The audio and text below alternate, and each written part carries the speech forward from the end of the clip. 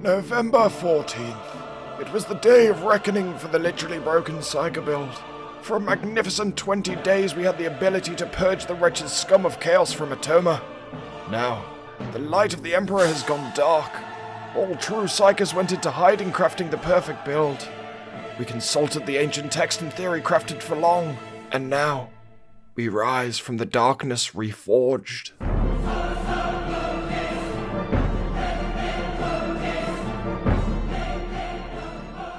Servants of the Emperor, Briggso here, and in this video I'm going over my reforged Psyker build in Warhammer 40k, Darktide. This build I'm calling the Spitfire Psyker build, and yes that's right, we're going from lightning to fire. No bugs here this time, so hopefully without any major nerfs in the future, this build will be able to stick around. If you're enjoying what you see here and want to see more Darktide related content from me in the future, then please like this video and consider subscribing. I've recently released my Unstoppable Ogryn build, so if you want to become an invincible pile of hulking muscle, then I recommend you check out that video after this one. This build is all about setting things on fire and applying Soul Blaze to enemies. Soul Blaze is a status that we can apply to our victims which does damage over time, otherwise known as tick damage, and the more Soul Blaze something has, the more damage they will take. Now, there are a lot of detailed explanations of the damage scaling for Soul Blaze on things like Reddit, so if you want to know the numbers, I highly suggest you look it up, because I'm not going to go into that much detail while I go through this build. But enough of the intros, let's go straight into the talent tree. First up, we have our refined Psyker Toughness Recovery package, which includes Soul Stealer, Quietude, and Mettle. These talents make it so that we can regain toughness by quelling peril, killing things with warp attacks, and getting critical hits. This is super handy as Psykers have the resilience of an arthritic 90 year old. I've fallen and I can't get up. We then grab Perfect Timing, which gives us more damage to our warp attacks the more critical hits we get. Our ranged weapon will take advantage of these critical hits, but more on that later. After this, we get Battle Meditation, which gives you a 10% chance to quell 10% peril, which synergizes nicely with our Toughness Recovery package and means we can burn things for longer when it activates. We then take Perilous Combustion, which applies 3 stacks of Soul Blaze to nearby enemies when we kill an elite or specialist, which works great with the whole kill it with fire theme. Moving down we pick up a plus 15 toughness boost before moving on to our blitz ability, Brain Rupture. This time around we're going to be making use of Brain Rupture as it acts as our long range weapon when we need it to. It also helps us do some chunky damage against crushers, bulwarks and monstrosities. You can choose to use Smite here if you want to, but with the staff that we have, you can already control crowds pretty effectively, so I'm not keen. We then grab Kinetic Flare as it activates a lot with the amount of hits that we are doing when we burn enemies, and it doesn't use a stack of empowered psionics when we use it. Whoops, spoilers. Moving down, we get a minus 5% peril generation modifier, which is the first of three in this build. Then we go to Wildfire. Wildfire helps us spread our flames like the word of the Holy Emperor, as it applies more stacks of Soul Blaze onto enemies as other enemies die. After this, we grab Psykinetics Aura, a 10% toughness replenishment boost, and then Seer's Presence. Both Psykinetics Aura and Seer's Presence help with combat ability cooldown for everyone in the team, so no one can call you out for not being a team player. We get one with the Warp, which helps us with damage reduction at higher levels of peril, then we take another minus 5% peril generation modifier along the way to our combat ability, which of course is going to be the shield. I take the dome variant of the shield and pick up Sanctuary to replenish more toughness while inside it. Like I said previously, I can't stress how important the shield is at high level content. They are such a versatile tool as they can provide shelter from ranged attacks and stop snipers from targeting you. Be warned though that snipers are pretty good at sniping you the instant that your shield goes down, so don't get too comfy inside of them and stay on your toes. After that, once again we complete the modifier Triforce by picking up our last minus 5% peril generation, a plus 10% health boost, and a plus 5% critical chance boost. We then head down the left tree to pick up Puppet Master, which increases your coherency radius, then we get a plus 5% toughness damage reduction before moving on to solidity, which increases your quell speed. If you want, you can drop this left hand part of the tree, and my recommendations would be to grab warp expenditure, empathic evasion, and psychic leeching instead. But have a play around and see what suits you. Finishing up, we take Warp Rider, which helps us do more damage the more peril we have, a toughness boost, and then finally empowered psionics. Yes, we're here again, but this time we're actually going to make use of those stacks of empowered psionics that we gain. When we use empowered psionics with brain rupture, it makes it charge faster, doesn't raise our peril when we use it, and increases its damage. This means that we can go from brain rupturing crushers in 3 hits to 2, and we can deliver those 2 hits in a faster time frame.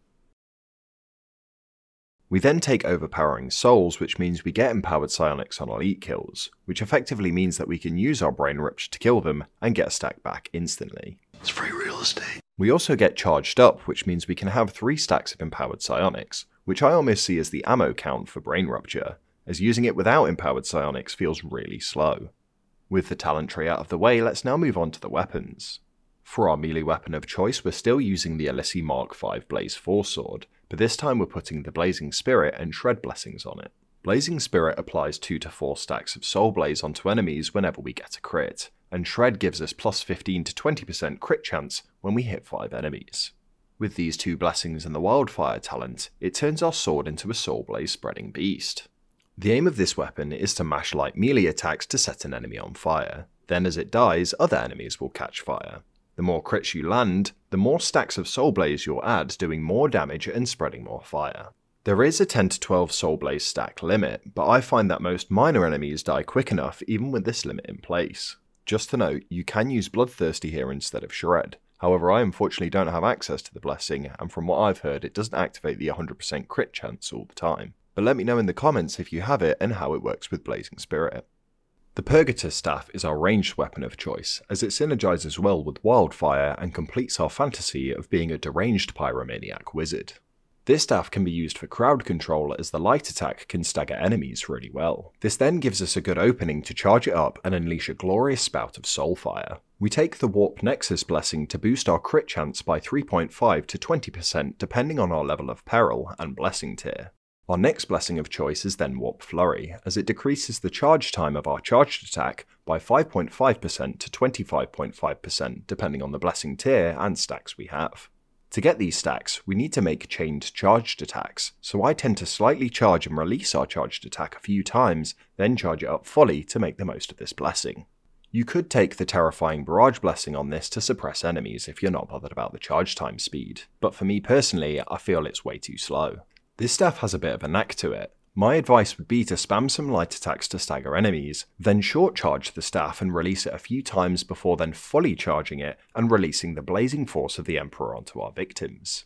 I'm not going to go over weapon perks, but my suggestion would be to get plus critical hit chances where you can.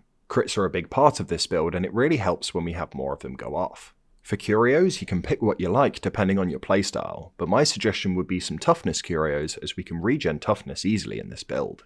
All in all, I really enjoy using this build. I feel like it holds up really well when taking on higher level content. We have adjusted into more of a support role with our ability to spam dome shields so often, and apply a ton of damage over time to enemies. So don't expect to be the elite and specialist killer we were before when we had the Surge Staff bug. Make sure to rely on your team and work together, and this build will do you well. But anyway, that rounds out this guide for the Spitfire Psyker build. So if you like this video, please do me a favour and smash that like button and consider subscribing. I'm going to leave you with some damnation footage of the new mission from the Traitor Curse as it's all the craze right now. Thank you so much for watching this video, and remember to kill for the living and kill for the dead.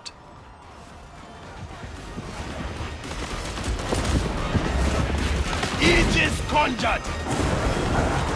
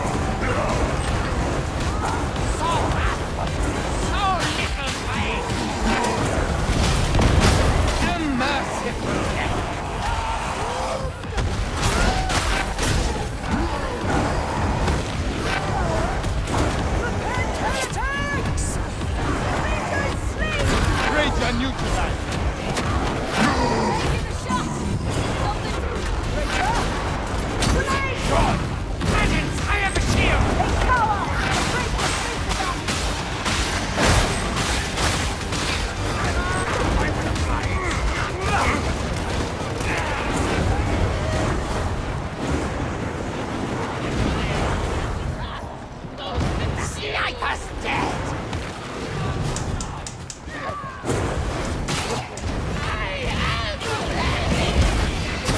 Problem eliminated! Heretic force!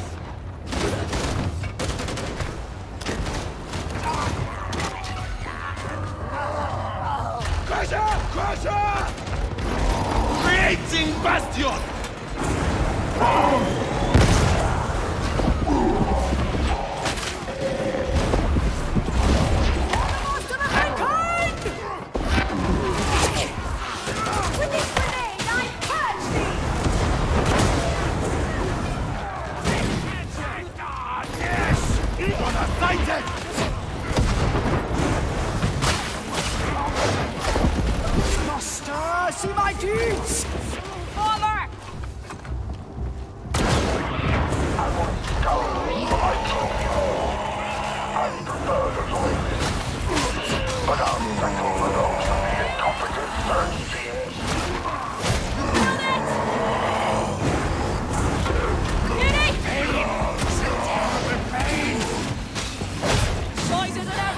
thing!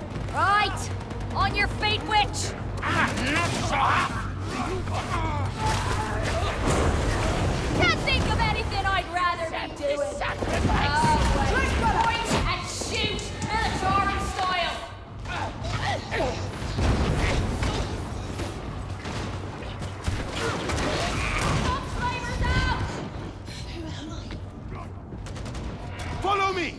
A demon host warpice chills my mind.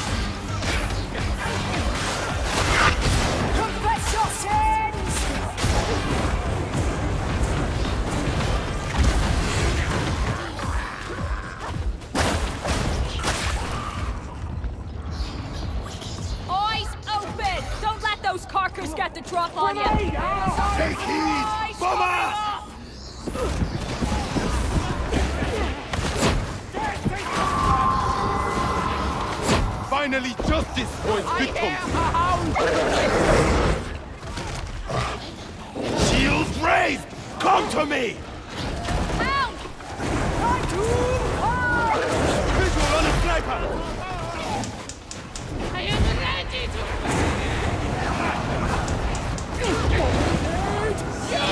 Sniper dead! Tank the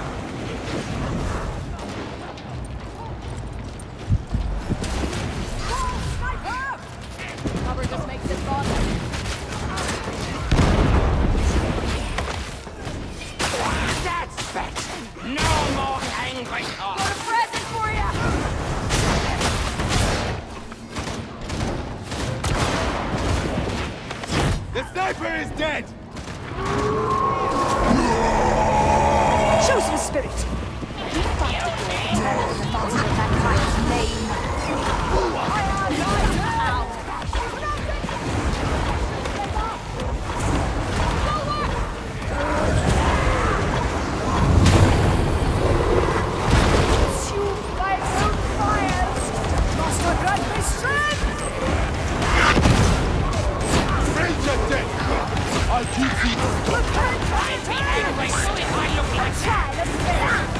Dead. The freak reeks carnage. This? How a professional does it. Shield up! Take shelter!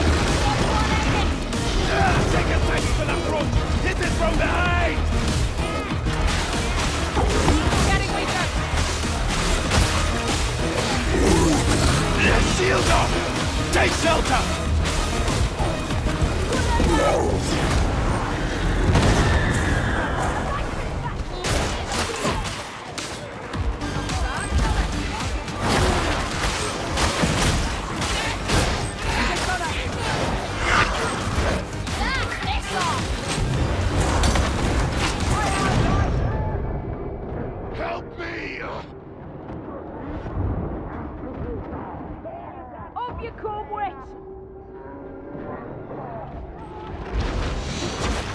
Sniper! Cover! Threats neutralized! Orc can!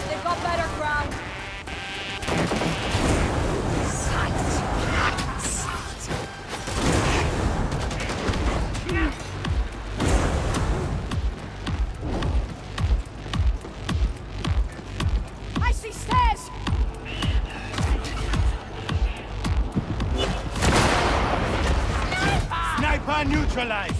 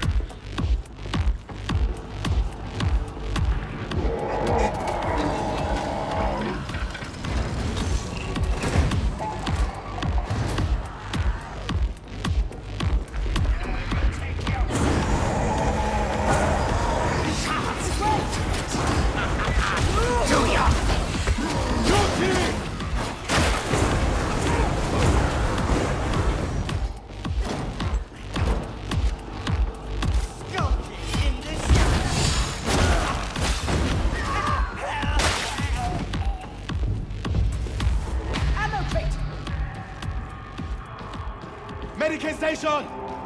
Attend! A healing station! Praise be to the